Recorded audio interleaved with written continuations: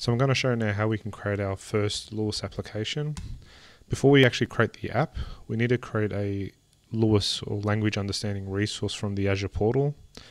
Um, the purpose of the resource is to purely provide us an API key later uh, that we can use in conjunction with the application to uh, programmatically call the HTTP endpoint, which will be the result. So um, the location I've picked West US. Um, our, it's important in terms of the region that we pick because that will need to pair up with the app application later. So you just got to make sure those two match. In terms of the tier, the, the free tier uh, for the demo is fine. It allows five calls per second, ten thousand calls per month. That's that's more than enough. And that's it. So once we've picked our resource group, we'll create, and that's all we need to do for the resource for now. So we'll, we'll come back to that when we need to retrieve our API key. So on the LUIS homepage, luis.ai, we need to log in. Um, they seem to be separate in terms of the accounts, so you may need to, to create an account if you can't simply log in with your um, existing uh, Microsoft ID. Okay, so we're going to create an app that is going to be focused on the music domain. So when you think of like Siri or Alexa, uh, and the types of commands that you can throw at those devices to be able to understand things within the music domain. That's what this application is going to, uh, you know, aspire to, to kind of do the same type of functionality. So you can see here in terms of the app assets, we've got the intents and entities that I mentioned in the key concepts video, um, and the phrase lists as well.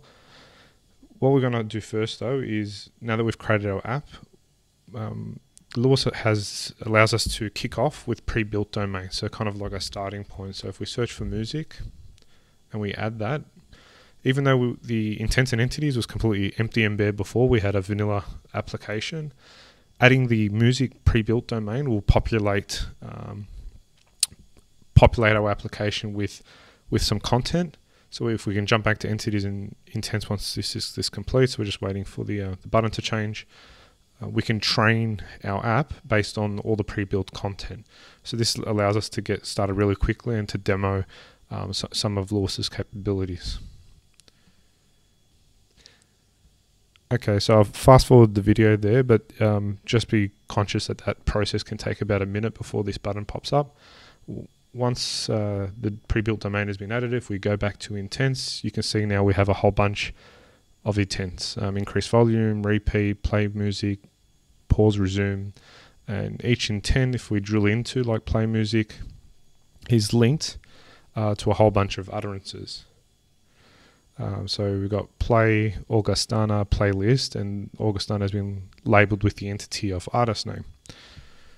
And if we jump to entities, we can see that we have two being genre and the artist. So now that we have some content, uh, we can go ahead and click train. Okay.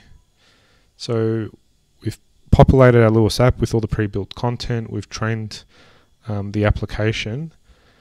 Uh, we can test um, the app already at this point. So play um, some song by some artist.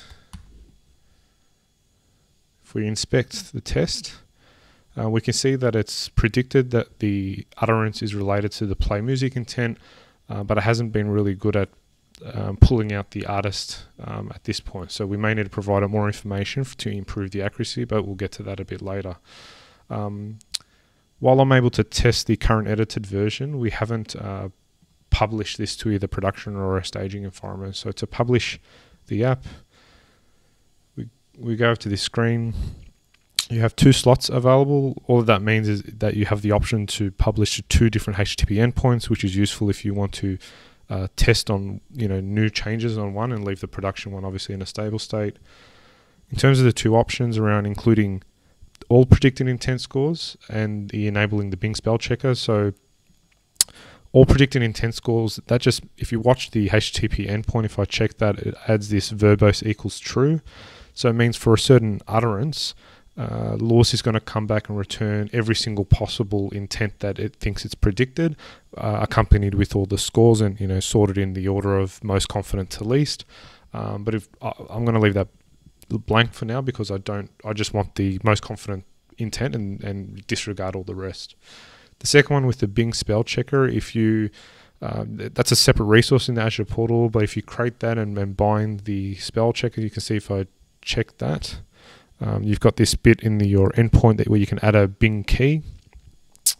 Uh, it can auto correct spelling mistakes in utterances. So if you are quite confident with the type of language that people may be using, um, and that it may trip up if they're spelling like errors within the the input, um, enabling the Bing spell checker may increase the accuracy of the uh, the result. I guess reduced from from LUIS. So that's all we need to do to publish. So we'll publish to our production slot. You can see at the bottom while that's publishing, we've got this uh, the resource keys. Each LUIS app has the starter key, so that's by default. It's limited in terms of its primary primary purpose is for authoring, like as we're as we're doing now. But to uh, query uh, the endpoint um, at decent volumes, you that's where you need to go back to Azure Portal, and we can do this now. Um, for the, the LUIS resource that we recently created, grab the API key. So we'll copy that. And we'll, ah, sorry, we didn't even need a copy and paste. So it's actually got the wizard where we can just select the tenant, select the subscription, and automatically picks that we've got LUIS, and only because the region, North America region, matches up with the West US region that we specified in the resource, we can add that key. Uh, and that allows us to, you're hitting that endpoint with that key um, at a higher volume, so whatever the limits were. And then if you need to go higher than that, then you'd upgrade from the free tier to, to the um, uh, the paid. Okay, so we can test um, our app already if we just copy the link address straight into our browser. And you can see at the end of the queue, there's um, a, allows us to um, enter a query straight in the URL. So we can say play Billie Jean by Michael Jackson. And there's a result. So while we are able to obviously test this within the browser, you'd more than likely uh, do this programmatically, um, you know, using Python or C Sharp uh, so you can see we successfully predicted the intent, which is to play music, and even who the artist is, being Michael Jackson. Um, okay. So if we visualize the relationships, we have an application called music. We have intents, many intents like repeat, stop, play, mute, and others. Under the play music intent, we have a number of utterances like play me a blues song, play Elysium please, play Augustana. And within each of those utterances, there are potential entities that are being flagged. Now you can see that not all utterances need to have an entity, but um, you can have zero or more entities within a single utterance. So that's it. Um, we've now created our first app.